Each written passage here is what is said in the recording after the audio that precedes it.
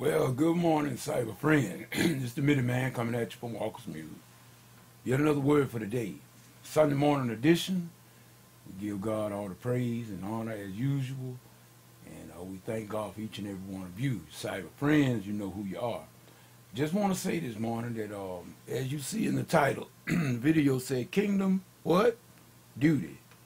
Kingdom, duty. Sister and brother, I come to you in the humblest way that I know how. And speaking a few things, we first, like I say, we we thank God for all of the cyber friends and the contacts and the people that have been with Old Man from the beginning. We thank those that uh, have allowed me to Man to touch in their lives and musically, spiritually, as well as physically. You know, we do we do things according, hopefully according to knowledge. But the reason I spoke of kingdom duty was speaking of first fruits, gifts, and all of the above. Everything that God has in, instilled and I should say in, endowed us with. He gave us all spiritual gifts.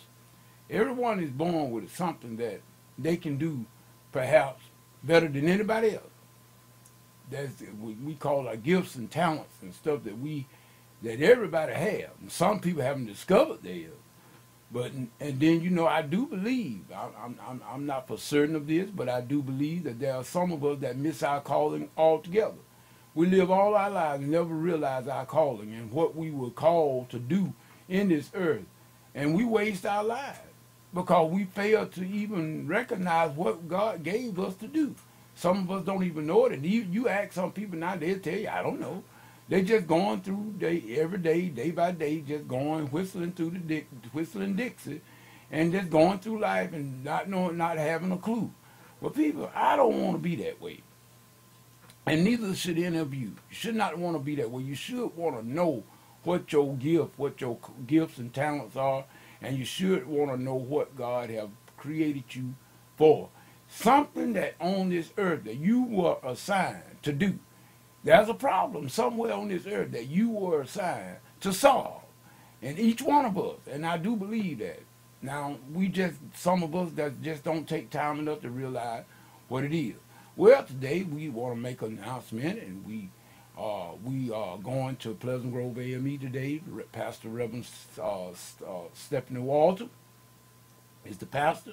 That's Pastor Stephanie Walton, pastor of the church, and they are having today their annual homecoming celebration that will begin immediately after service this morning.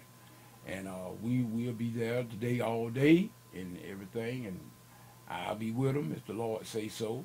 And uh, but like I say, it's kingdom duty. I am a musician.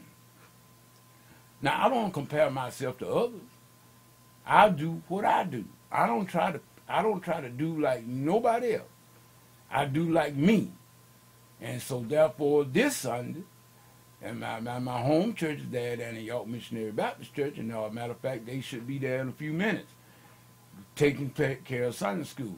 I won't be there today. Deacon Walker will not be there today. Deacon Walker now got to go and serve the capacity as minister of music at Pleasant Grove AME. Like I say, kingdom duty. Kingdom duty. Once we get a hope to duty, See, it's not about, well, first people say, well, you should enjoy what you do. Yes, you should enjoy what you do. You should love your job. You should love what you do. Therefore, it's not a job when you love what you do. But let me tell you something, people. There are a lot of us, and excuse me while I get a drink, a sip of coffee. There's a lot of us that we don't think that way. We don't think that way at all. We dread doing this. We dread doing that. We dread, dread, dread, dread. Well, you know what? My great grandmama taught me. She said when you dread something, that makes it go harder for you. Now, I do believe that there comes a time in when it's time to go. Now, if you if you have gotten to the place, I don't care where you whether you minister music or I don't even care whether you're a pastor or not. All of us are servants anyway. But nevertheless, when you get to the place where you are just fed up with a place and you don't enjoy, you've lost the joy of being there. You don't want to you don't you don't want to use your gifts. Well, I think then. I mean, I always said you pray first. Move once, pray first. Pray twice, move once. but you should, I do believe that if you get to that point where you just dread to go somewhere that bad, and if it if it taking that much out of you to go there, maybe that's a, a sign that it might be time for you to leave there. Now I'm just saying. I mean, I mean, once you get to where there's no joy in it, that you don't have no motivation, you just you just doing it. You you just doing it as a job. You don't have no joy in it. You don't you care how the choir sound. Or if you're a preacher, if you preaching the word and you don't, you just up there preaching out the Bible, just throwing together a sermon, throwing it to the people, you don't care whether they receive it or not. I think it's time for you to move and find you another pastor. Now I really do believe that. I could be wrong. But until God show me that I'm wrong, I'm gonna keep this mind that I got. Anytime that you are doing something like this, minister music, pastor, or whatever it might be, whatever capacity that you might be performing, if you're not getting the joy out of it anymore and you don't really care to do it and you dread it, you don't care whether the people benefit or not, it's time for you to move on. I do believe that. And that's where a lot of us are today. We're at the crossroad. We're wondering which way to go because of the fact that some of us we've been ridiculed, we've been we've been ostracized, you've been beat up on, you've been treated bad, you've done I mean, all of the nine yards, the whole thing above it. You just yet you yet try to hang in there just to see will people change, and some of them never change. Not with you anyway. Like I say, we don't do things because of the people reaction, but nevertheless, some people not going to care for you regardless of what you do. I mean that they're not going to care for you regardless of what you do. You can climb Mount Everest, and they're still never going to give you any credit at all. Somebody can just roll over the mole hill and they'll talk about that to kingdom come. That's just the way it is. In other words, they you are not one of their pet peeves. In other words, so in other words, they gonna you know they take lightly what you do, even though if what you're doing is, is making a very very bold statement. But nevertheless, we don't do it for those for to be bragged on and to be patted on the back. But there is something called respect there is something called respect and honor. And I feel that when you are doing the best that you can, giving all that you got, and people will not honor you. I heard a teacher, Dr. Mike Murdock, says, it's time to go. Don't stay where you're not honored. Uh-uh. If people are just tolerating you, don't stay where you're tolerated. Go where you are celebrated.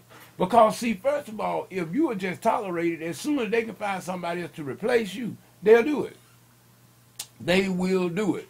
And if certain people was in charge, you would not even, you, you would be, you talking about prison, you'd be in prison if some people was in charge. Because they could kill no more of you than the spitting on the ground. Really. Really.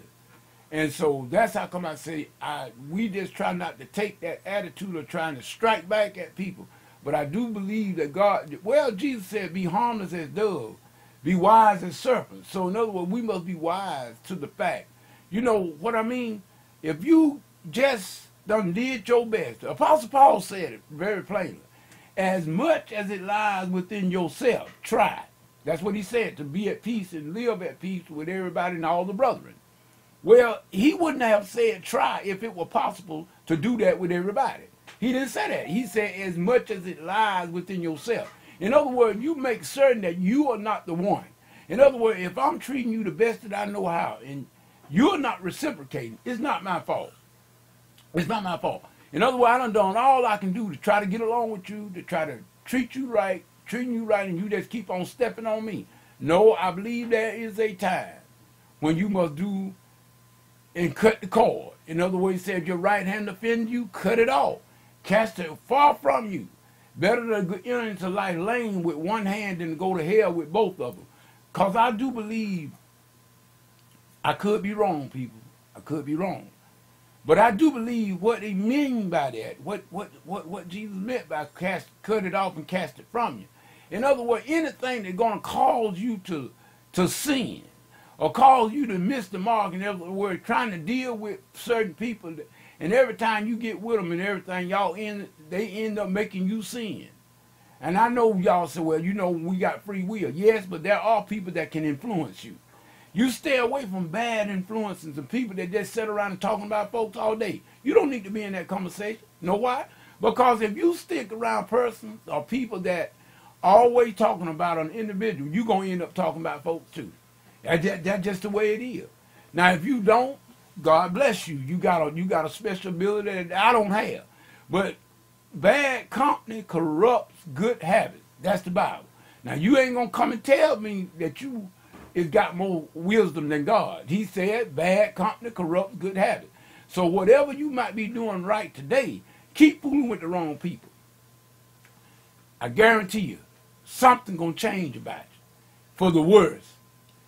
Amen. Amen. I just came to just say that to you this morning, people. I know that I had to go out, and today is the last, well, the third Sunday. Well, next Sunday is Christmas Eve. And I will be at my home church at that time we will be having some morning service on that morning. I'm not certain how things going to go because we already commune on second Sunday, so we won't be doing any communion on Christmas Eve because of the fact that I know it's Christmas Eve and I know the pastor know that, and a lot of the people are, are going to want to go back and kind of prepare.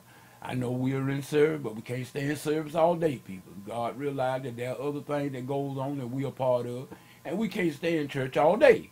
God realized that. And see, a lot of time it ain't doing us no good to be that uh, that hour and a half or two hours we be there. And I'm just speaking now. I'm just saying, you know, you know, I'm just speaking. I'm not talking about anybody. I'm even talking about myself. There comes a time now when the spirit be gone. And we be yet jumping fuse and the spirit already done came and went. And we yet jumping. So that's, in other words, that's you basic common sense. And I always say com- sense not common because if it was, everybody would have some. I'm just saying, you think you figure that out. This is to the next video, to the next Bible study. This is Midiman saying whatever you get, whatever you get into, if God is not in it. Please, ma'am, please, sir, come out of it because it's going to come to nothing. Till the next time, peace, good day.